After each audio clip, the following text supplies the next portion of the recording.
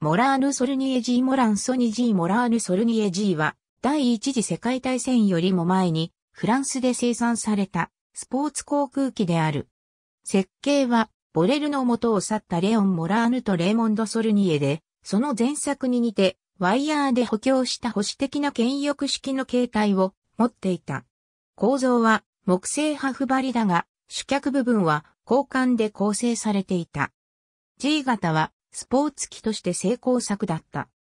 1913年4月、ローラン・ギャロスはフロート付きのタイプで第1回シュナイダートロフィーレースにおいて40分40秒の記録を出し第2位となった。6月26日にはクロード・グレアム・ホワイトが同じ年の9月21日から28日の間にサンセバスティアンで行われた水上機大会にはフロート装備の G 型2機が参加した。カーベリー卿の操縦した1機は短距離離陸賞を獲得し、エドモンド・オードマーズのもう1機は操作聖賞を獲得した。翌週、カーベリーはコモコからパビーヤまでを往復するイタリアの水上機コンテストに自身の G 型で参加したが、他の15機の参加者の中には、ギャロスとモラーヌが操縦する2機の G 型もあった。ギャロスは総合部門でグランプリを得ただけでなく、最高速度賞と最高高度賞も獲得した。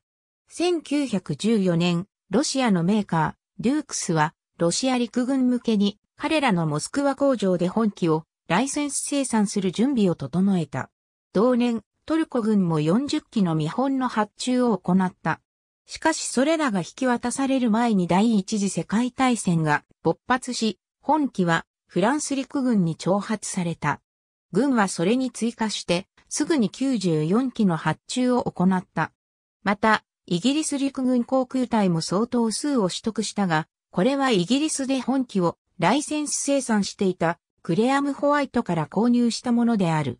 戦争が開始されてみると、本機は軍用機としての価値に欠けていることが判明し、フランスで使用した機体は速やかに訓練任務に差し向けられた。にもかかわらず1915年には 8mm ホッチキス機銃を装備したタンザの戦闘機バージョンが製作された。この機銃はプロペラ回転面を通して発射されるようになっており、プロペラブレードには弾丸を反らすための変更板が取り付けられていた。しかし1、2機の試作が行われただけで実用化には至らなかった。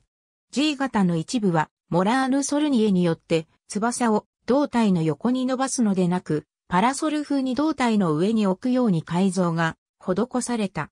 この配置によってパイロットの視界がはるかに改善されることが分かったため、後のモラーヌ・ソルニエールの開発につながることとなった。G 型は現在、マドリードのクアトロビエントス航空博物館に一機が保管されている。出展、ジェーンズ・ファイティング・やクラフト・オブ・ワールド・ウォーアイ、116、諸言性能。ありがとうございます。